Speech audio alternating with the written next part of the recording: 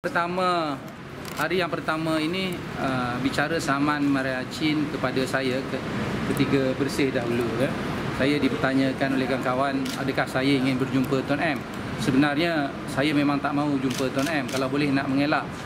Jadi kalau saya jumpa Tuan M jadi sui saya.